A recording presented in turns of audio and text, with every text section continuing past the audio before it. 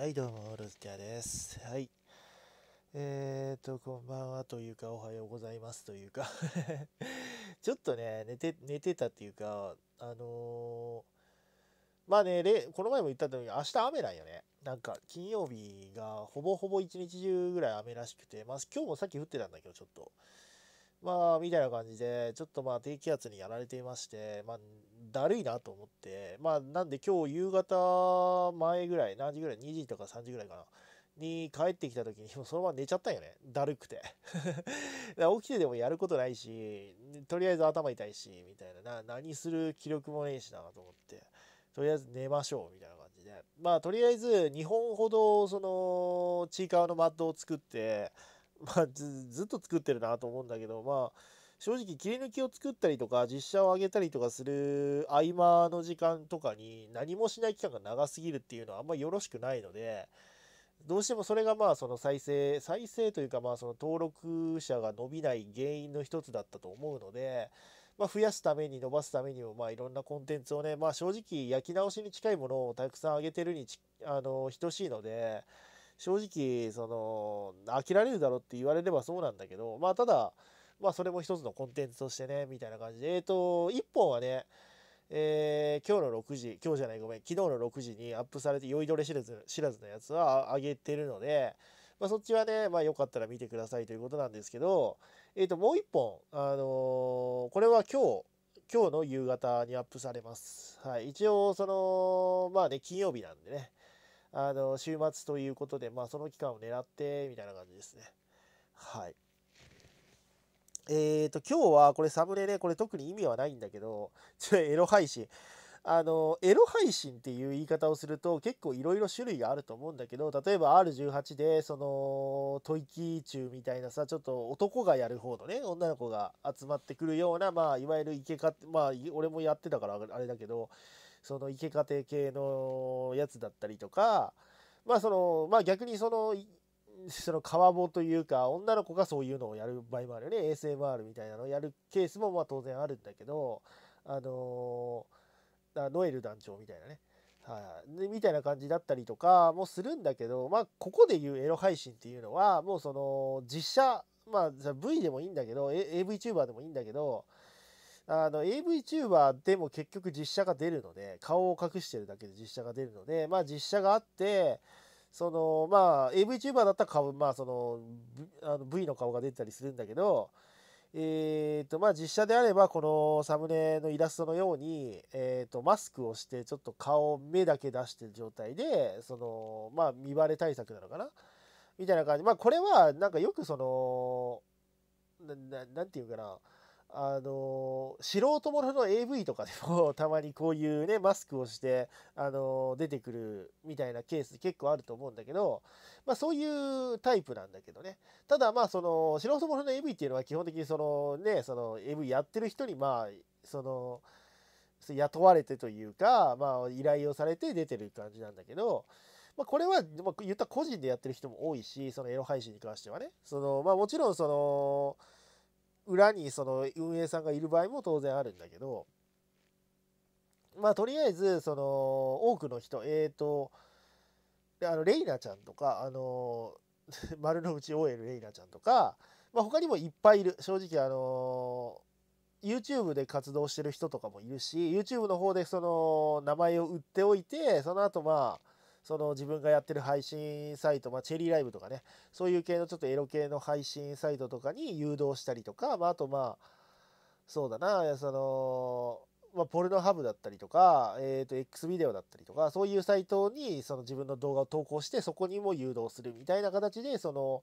YouTube には当然そのエロいのはそのがっつりエロいのは貼れないのでそこにちょっと誘導するようなものを作ってそのネタ動画みたいなのを作ってそこで誘導してこういうのもやってますよっていうのでその誘うっていう形をとってるっぽいよね。でまあそうしないと結局 YouTube の方がそのバンされたりする可能性がその AVTuber とか一緒なんよね。結局 AVTuber とかもあの前にも何度か言ったと思うけどそのババンそのバンされたりとか収益止められたりするのがもう日常茶飯事なわけよ。その例えば前にもえっ、とまあそのまあ、カラマジ元カラマジの子たちもそうだしえーとまあ、えっと、MH とかももちろんそうなんだけど、その辺の子たちでも、すいません、チャンネルバンされちゃいました、また復活までちょっと待ってください、みたいな感じってよくあるじゃん。で、まあもちろんね、もうこれ YouTube が潰れてた、まあ問題ないよ。これで言ったら人集めをしたりするので、YouTube も大事なんだけど、まあ、YouTube 以上に、その、ファンティアだったりとか、そういうサイトで、その実実益を得てる、まあ、実際の写その生身の写真を出しそのね超美麗 3D の写真を出してるし、まあ、動画エロい動画も当然あったりするし、まあ、これさっきも言ったけどチェリーライブとかそういうとこに誘導するパターンもあるし、えー、とどうなんかな？FC2 とかで配信をしてる AVTuber の方とかもいるんかな？まあまあ言ったら。だから、まあそういうケースで、まあどこかに誘導するので、そっちさえ見れさえすれば、そっちで配信を活動は続けられるんだけど、ただ YouTube もやってないと、その、人を呼ぶのに、やっぱ YouTube でやりたいし、あと普通にその、まあ、例えば AVTuber であれば、ゲーム配信とかそっちで普通にやることもあるし、えーとまあ、そのエロ配信者だったとしてもそのそっちで配信をやることもあるしそのネ小ネタの動画例えばその有名な YouTuber とそのコラボしてみたりとか、まあ、例えばねレレイナさんとかでもね例えばプロタンとか、えー、とラファエルさんとかあの辺とコラボをしてたりしてたよね。みたいな感じでそのそっちで名前を売るっていうのもできるし言ったら。そのアングラの世界だけでやっていく感じだとそのパイが取れにくいのでまあ中にはそれこそそのまあ俺ちょっとまあ関係してるのであんまり名前を出したりともできないしそのどういう人なのかも言えないんだけどまあ、例えばその風俗とかで働いてる女の子だったりとか、まあ、夜食ちょっと、まあ、風俗まで行かなくてもそのちょっとエロに近い方まあねピン ピンサロだったりとか、えー、とセクキャバだったりとかそういうところで働いてる人がそのそういう配信を副業でやったりとかすることも当然あるし、まあ、それ店の宣伝にもなったりするからその店側も黙認してるとかね、まあ、逆に名前がっつり出してるケースもあるだろうし。まあまあそういういろんなタイプがあるのでそういうタイプのその店とかが関係してる場合はそのななんだろうなその有名 YouTuber と絡んだりとかっていうケースはあんまりないかもしれない。ちょっとアングラに入っちゃうかもしれないね。うん。だからその辺のその難しいところなんだけどその立ち位置的なものはね。あの一言にそのエロい配信をしてるどこどこの配信サイトでやってるって言ってもその出自が全然違うので例えばその AV 形式でそのなんかその覆面かぶったその男優みたいな人が出てきてまあスタッフなんだろうけどが出てきてそのちょっと絡みをやるとかっていうことをやるケースもあるやん。逆に1人でそのワンマンプレイをするケースもあるわけやん。そのね。でだからで1人でやるケースもあるし、まあ、逆に言ったら1人ではやらないけど女の子同士でそのまあ言ったコラボみたいな感じでその女の子同士でちょっとまあレズプレイみたいなのをやるみたいな、まあ、これ結構あるよね普通に。あのそれこそレイナさんとかもよくやってたしあの俺がたまに YouTube であのスタイルいいなと思って見てたのはあの白猫みやこさんっていうね。あの今あの Twitter のスペースとかでやったりしてるけどあの辺の子は好きだねスタイルよく。顔も可愛いしね。で、その、みやこさんに関して言うと、あの人は普通に顔出してた気がする。あの、マスクとかはつけてない。ただ、その、こういうなんか、まあ、昔で言うと FC2 だったりとかするんだけど、まあ、今だとそういうファンティアとかいろいろあるんだけど、そういうのをやってる人のスタイルって大体この感じだよね。マスクをしてるんよ。まあまあ、顔隠して。あのー、昔結構ね、話題になったりしたよ。それ、例えば、ニコ生とか、まあ、今で言うと本当に大手の V とかね、あの、2次フォローとかで、に参加してるような人たちが、その裏で FC2 とかでそういうエロいことをやってるみたいなそういう時にこういう顔隠して出てるわけよ。でもその言ったら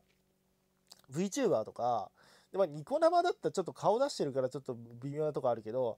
VTuber であれば顔出してないわけ基本的には。バレてるけどね。あの探しはいくらでも出てくるけどその探さなければ分かんないわけじゃん。基本的に表にそのオープンで出てる情報ではないので例えばその2次フォロの VTuber まあ2次フォロだったらバレてるかもしれないけどそれそれよりもちょっとランクの下がる企業税とか、まあ、個人税とかだったら顔がバレてる子なんてなかなかいないわけよ。その大手の所属の部位の子が顔がバレてるのは基本的にそのかつてそのニコラマだったりとか何かの配信だったりとか、まあ、声優さんだったりとか別の活動してるからそこでその声が声が一緒だからバレちゃう。でバレちゃうしその前の活動の時は思いっきり顔を出してるからそこで顔がバレちゃうみたいな。のが多いわけだけどその個人税とか小さい箱に所属してることからは別にもちろんですね過去に何か活動してた可能性はあるけどそれを公にしてないからそもそもバレないんよね。基本的には。まあバレる人もいるよ。あまり有名だったらバレるけど基本的にはバレないので。だからそういう人が、まあ言ったら V で活動してる限り顔別に出さなくていいから、その裏で、その半分顔出してマスクつけて、ちょっとエロ系のやつをやって、その配信で稼ぐみたいな、副業でね。みたいなことをやってる人もいるっていう噂も結構あって、大手のね、それこそ2次フォローのレベルでもやってる人はもしかしたらいるんじゃないかみたいな。まあ今はどうかわかんないけど、それこそその、まあ今はね、稼げるじゃん。言ったら V もそのめちゃくちゃ有名になってでかくなってるから稼げるからあれなんだけど、初期の頃、その2次フォロ立ち上げ当時で、まあ、まだ2期生3期生がデビューしましたみたいなぐらいのレベルの時とかにあのー、まだ不安やんか言ったらまだそれでホロライブが大成するかどうかも分かんなかった頃だからそういう時にあのー、裏でねそのやってた人もいたんじゃないかもしくはいたいたのではって言われてるみたいな感じだよね。まあまあそれはまあ置いといたとしても今もいろいろやってる人もたくさんいるしあのー、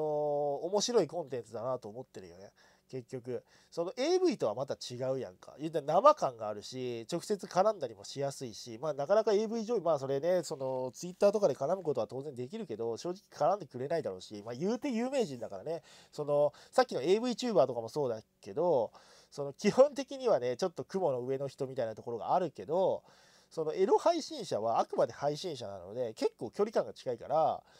まあ、そういう意味で、まあ、正直、キモいリスナーも増えるんだけどね、正直、そのユニコーンみたいなのも増えたりするんだけど、まあまあ、その辺も含めて、まあ、その、いい商売なのかなとは思ったりはしてますね。まあ、このい、このイラストめっちゃいいよね。ブラ、ブラかわいいみたいな まあ、それはそうみたいなね。うん、こういう服着がちだよね。このなんか、うん、なんとなくわかる、この、胸のね、この、アクセサリーもそうだしこのブラというかこの服も含めてなんかありがちだよなとは思うけどね。はいまあそんな感じでロルティアでした。ちょっともう低気圧でだるいのでこの辺で終わります。バイ。